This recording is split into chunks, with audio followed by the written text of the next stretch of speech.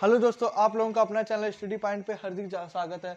आज आप लोगों को प्लांट ब्रीडिंग सब्जेक्ट के अंदर बेक क्रास मेथड जो मोस्ट इंपॉर्टेंट क्वेश्चन है, इसके प्रभावी और अप्रभावी का डिस्कस करेंगे। जितने भी क्वेश्चन बनेंगे इसके कम्पिटेटिव के लिए और बीएससी के लिए, उस क्वेश्चनों पर हम डिस्कस करेंगे। और इस चैनल पर नए है तो चैनल को सब्सक्राइब करें और बेल बेल घंटी को ज़रूर प्रेस करें, ताकि आने वाला वीडियो आप लोगों को सबसे पहले मिले। तो बताएँगे, कई जीत बाकी हैं, कई हार बाकी हैं, अभी तो ज़िंदगी का सार बाकी है। कि कई जीत बाकी हैं, कई हार बाकी है, अभी तो ज़िंदगी का सार बाकी है, या तो एक पन्ना था, अभी तो पूरी किताब बाकी है। तो बताएँगे बेक क्रॉस मेथड एक्चुअली होता क्या है? जब एफ़ वन पौधों का संकरण, क्या जब एफ़ वन पौधों का संकरण उसके किसी भी एक जनक से किया जाता है तो उसे क्या बेक क्रॉस मेथड या प्रतीप संकरण कहते हैं। इसका प्रयोग रोग रोधी प्रजातियों को, क्या बोला? इसका प्रयोग रोग रोधी प्रजातियों को स्थानांतरित करने के लिए किया जाता है। जिस प्रजाति में स्थानांतरित किया जाता है, उसे क्या कहते हैं? आदाता जनक आदाता कहते हैं, और जो प्रजाति स्थानांतरित करते हैं, उसे दाता कहते हैं। आप लोगों को बता रहा कि प्रथम वर्ष में प्रभावी और अप्रभावी जब इसका हम संकरण करते हैं उक्टाग्राही प्रजात ए उक्टारोधी प्रजात बी। जब इसका हम संकरण कराएँगे, जो होता आवर्ती और अनावर्ती रिक्वायरेंट और नॉन रिक्वायरेंट इस तरीके से भी क्वेश्चन पूछ लिया जाता है कि रिक्वायरेंट और नॉन रिक्वायरेंट में डिफरेंस बताइए।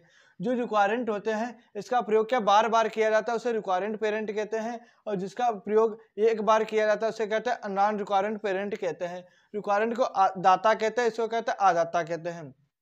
अब बताएँगे द्वितीय वर्ष में क्या था? यवन जो पीढ़ी प्राप्त हुई यवन पौधों की प्रजाति का हम प्रति संकरण करते हैं। जो तृतीय वर्ष में बीसी वन इसका जब संकरण करा, कराया जाता है प्रजाति ए के समान क्या प्रजाति?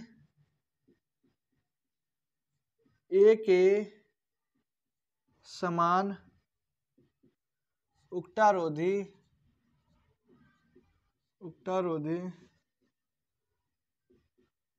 पौधों का का वर्ण। उक्टारोधी पौधों का वर्ण किया जाता है वर्ण किए गए प्रजाति का प्रतीक संग्रहण। वर्ण किए प्रजाति का का प्रतीक संकरण प्रतीक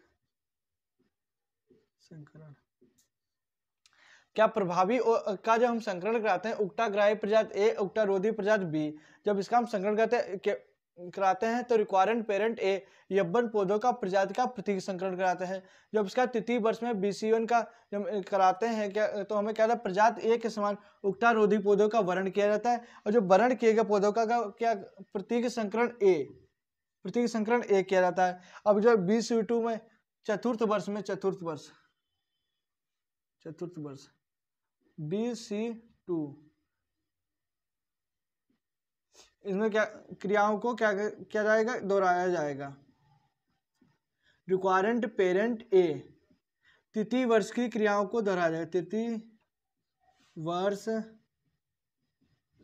की क्रियाओं को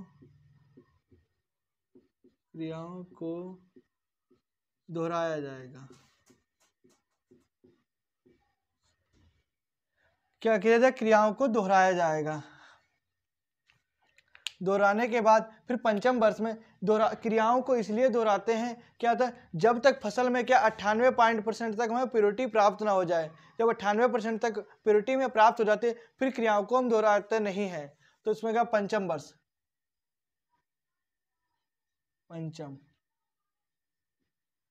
बी सी थ्री फिर से क्रियाओं को हम क्या करेंगे? दोहराएँगे। रिक्वायरेंट पेरेंट ए इसको शॉर्टकट में इसलिए लिया क्योंकि जगह कम है तो इसके लिए रिक्वायरेंट पेरेंट ए का क्रियाओं को दोहराएँगे। फिर सिस्टम वर्ष में भी क्या हम क्रियाओं को दोहराएँगे? System B C four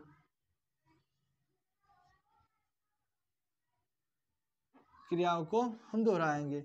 रिक्वायरेंट parent ए फिर क्या करेंगे? सप्तम वर्ष में भी क्रियाओं को हम क्या करेंगे? दोहराएँगे। बी सी फाइव क्रियाओं को रिक्वायरेंट पेरेंट ए दोहराएँगे। और जो अष्टम वर्ष में प्राप्त हो जाएगा, अष्टम वर्ष में क्या? उक्टारोधी प्रजातियों को वरण और क्या कहते हैं? सौपरागित करना।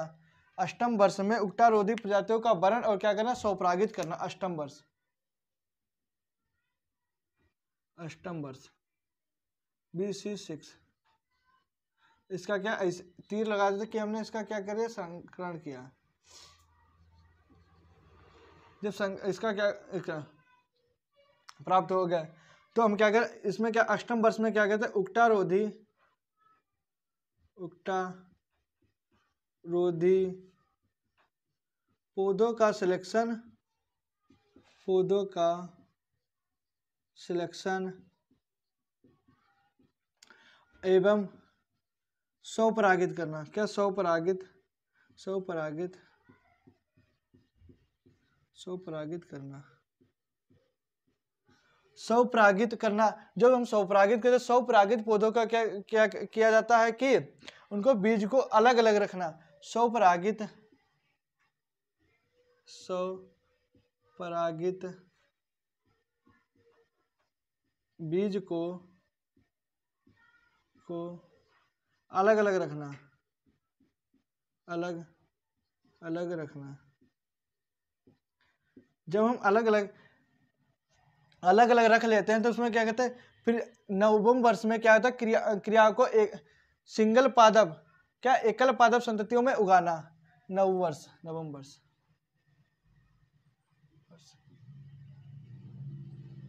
क्रिया को क्या सिंगल पादप संततियों में क्या क्या उगाना होता है? पौधों को एकल पादप संततियाँ। क्या बता पौधों को एकल पादप संततियों में उगाना? पौधों को को एकल पादप संततियों में उगाना। क्या बता पौधों को एकल पादप संततियों में उगाना, प्रजाति ए के समान, क्या प्रजाति ए के समान उक्टारोधी पौधों का वर्ण किया?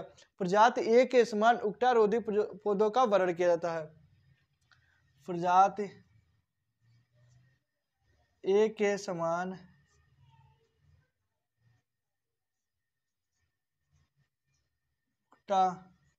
रोधी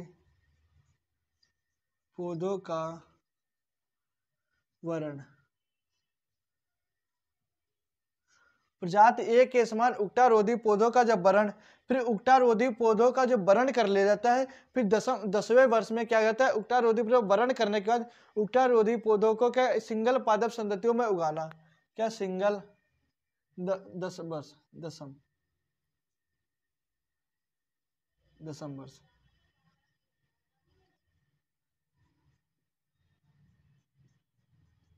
इनको क्या उगटा रोधी पौधों का सिंगल पादप संततियों में उगाना।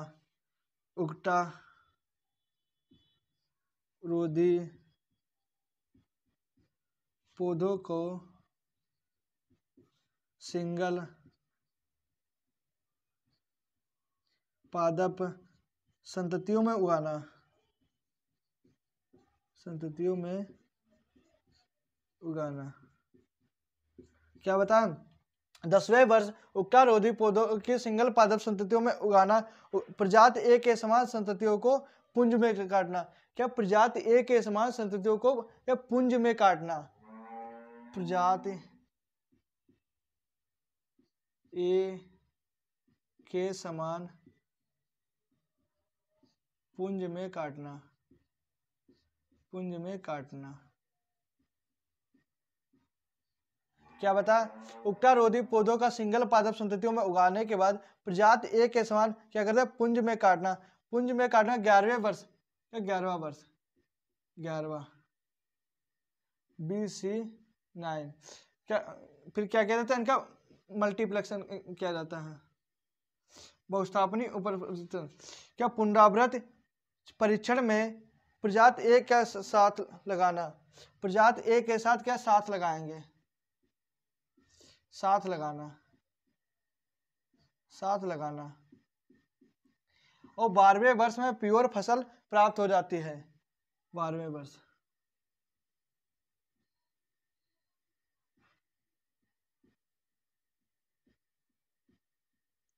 बीज का गुड़न बीज का गुड़न एक बार फिर से रिपीट करेंगे। प्रथम वर्ष में प्रभावी, जो प्रभावी ए जो है उगटा ग्राही प्रजाति ये है और बी क्या है उगटा उक्टारोधी जिसमें क्या है, रोग लगे होते हैं।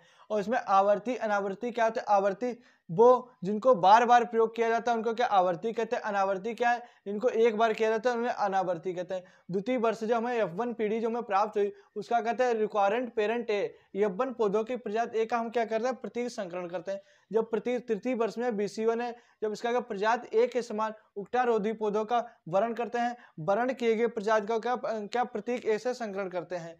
वर्ण किए गए प्रजाति का प्रतीक एक से। फिर क्या कहते हैं, चतुर्थ से षष्टम वर्ष में क्या क्रियाओं को दोहराया जाता है? चतुर्थ से षष्टम वर्ष में क्रियाओं को क्या हो जाता है? दोहराया जाता है। दोहराने के बाद जब अष्टम वर्ष में उक्टारोधी पौधों का सिलेक्शन क्या उक्टारोधी पौधों का सिलेक्शन और स्वपरागित किया जाता है? स्वपरागित फ़सलों को क्या होता है? अलग अलग रखना रखा जाता है। फिर रखने के बाद क्या स्वपरागित फ़सलों को एकल पादप संततियों में उगाया जाता है। एकल पादप संततियों में उगाया जाता है। फिर प्रजाति एक के समान उक्टारोधी पौधों का सिलेक्शन किया जाता है। प्रजाति ए के समान उक्टारोधी पौधों का क्या सिलेक्शन किया जाता है? फिर दसम वर्ष में उक्टारोधी पौधों का सिंगल पादप संततियों में उगाया जाता है और प्रजात एक, जब हम सिंगल पादप संततियों में उगा लेते हैं, फिर प्रजात एक के समान उनको पुंज में बांटते हैं। पुंज में बांटने के बाद ग्यारहवें वर्ष में क्या क्या लगाते हैं? इनको कहते हैं सात में लगाया जाता है। फिर बारहवें वर्ष में हमें बीज जो वेराइटीज है प्योर शुद्ध वेराइटीज प्राप्त हो जाती है और बीज का क्या गुणन किया जाता है? इसमें बारह वर्ष में पूरी वेराइटी हमें एक नई किस्म प्राप्त हो गई, जिसमें बे क्रास मेथड का प्रभावी जनक से जब हमने संकरण कराया तो इसका हमें इस प्रकार से समझ के क्वेश्चन हल हो गया। थैंक यू धन्यवाद।